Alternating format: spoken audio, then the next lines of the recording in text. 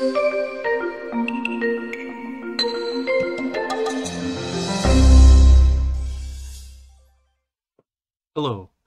and welcome to a, another video from Ellensburg Amplifier Repair and Service.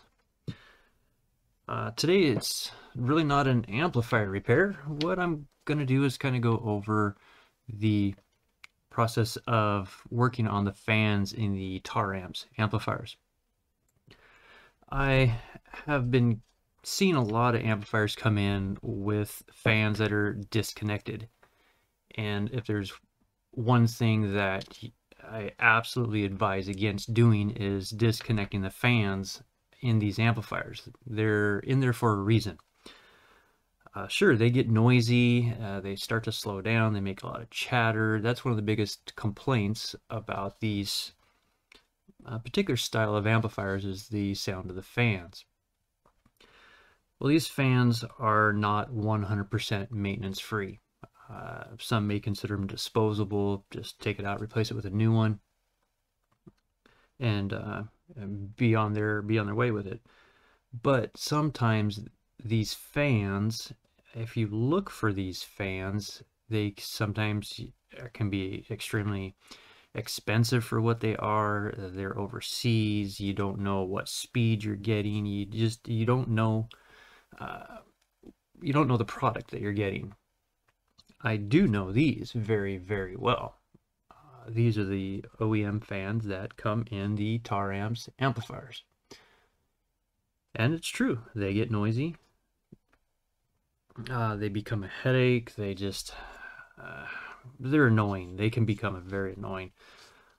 But what I do is I restore these uh, fans as long as the stator itself is still functional, the board in here, these fans can go on and on and on until you literally wear out the shaft far enough to where there's too much play between the bushing and the shaft. But nine times out of ten, they uh, they usually gum up and seize before they wear out. So that's what I'm going to do for this fan here today is I'm going to clean it up and get it back into service. So the first thing is, is on any fan that comes in is I verify the condition of the fan.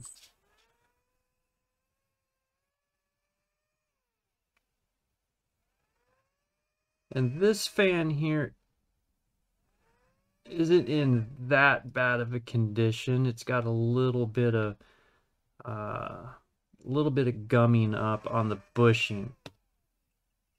So it's got a little bit of a rattle to it. So sometimes when it starts up, it'll just vibrate really, really bad. But once we're done doing what we do with these, it will uh, be at top speed. It'll be as quiet as it, as quiet as ever. And the cool thing is, is you don't need any fancy tools to do this. So Q-tip, some isopropyl alcohol, and I just put some isopropyl alcohol around the edge of the sticker here, and I get my needle nose tweezers right up underneath that sticker. And just start a corner on the sticker. And that isopropyl alcohol will get right up underneath that and free up the adhesive on the sticker. It's important to try to either keep the sticker or uh, utilize Kapton tape when you're done if you uh, weren't able to save the uh, sticker.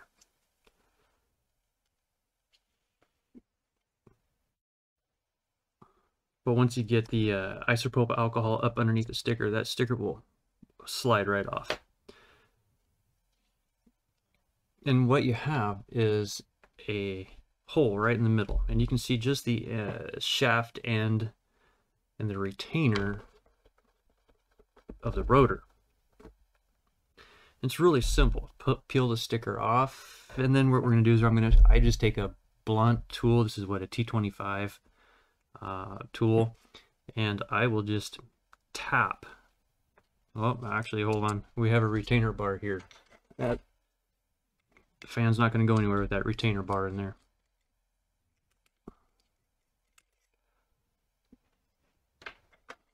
So in my videos, uh, when you hear me say it just needs some fan work, this is what I do, is I take the fan out.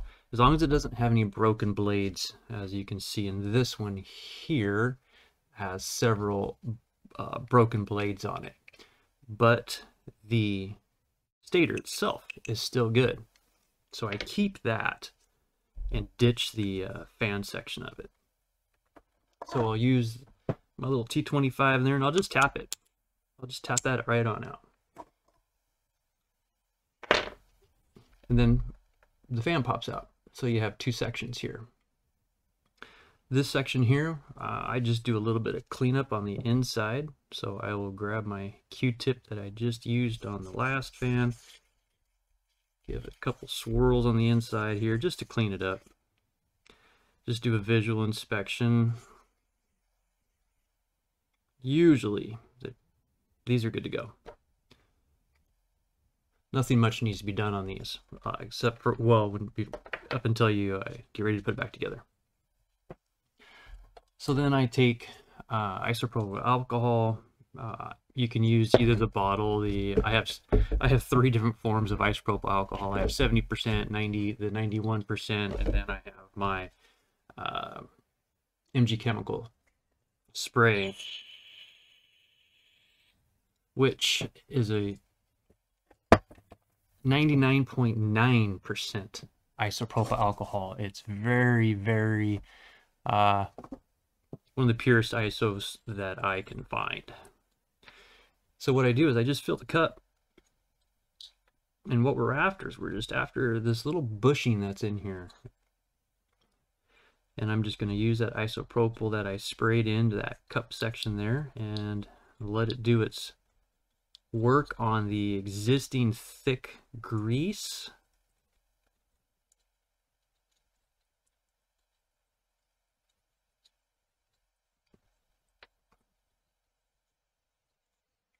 These bushings, uh, they don't, uh, the strange thing is, is they don't require a really thick grease uh, to, to function. Uh, in reality, I would like to see more of a graphite used in these uh, particular style of fan setups because it's not a sealed bearing, it's a, it's a bushing. and inevitably every fan uh, will eventually stop working the grease in it gets too too gummed up and that's what uh, that's what comes out of the grease itself it's more of a yellow greenish looking stuff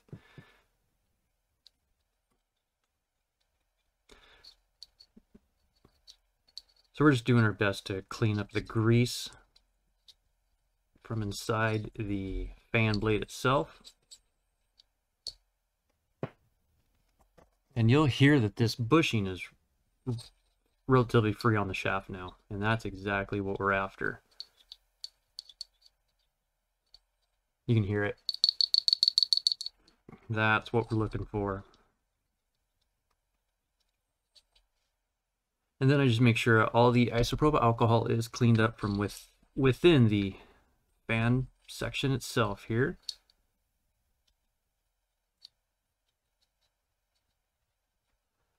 Use dry Q-tip to make sure I got all the grease out of it. And then I just lightly spray just a little bit of uh, CRC in it. just a touch.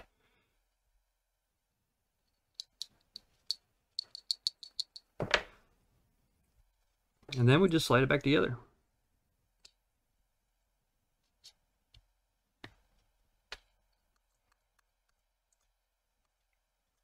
Quiet as can be. So that's that. Really, you just slide it back together until bottoms out. Squeeze it, bottoms out. Check the fan, sounds good. And now the trick is, is we just got to get this uh, sealed back up on the back, which is really easy. Just get yourself another clean Q-tip. Make sure it's uh, free of all grease and oils. And clean the surface.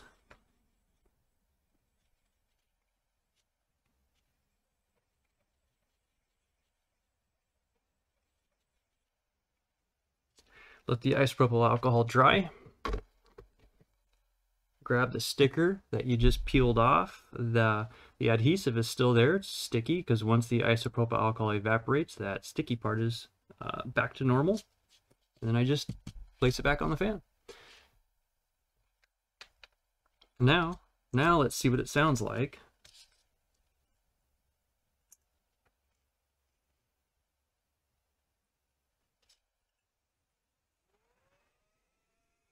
There it is. And that rattle that it was making is absolutely gone.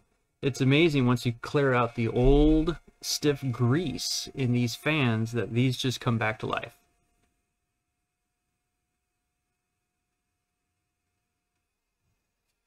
Simple as that. So, don't disconnect your fans, guys. And if if you turn your uh, Taramps amplifier on and you can't hear the fans, please do yourself a favor. Don't run the amplifier. Uh, turn it off. Disconnect it. Send uh, send it in if you are uh, not comfortable of uh, of main you know main, doing some maintenance work on fans. And uh, give me give me a call. Contact me. I'd be more than happy to take care of these fans for you. That's what I wanted to cover today for your guys' video on the Taramps fan servicing. Thanks for watching. If you have any questions, please leave them down below, and we'll catch you on the next one.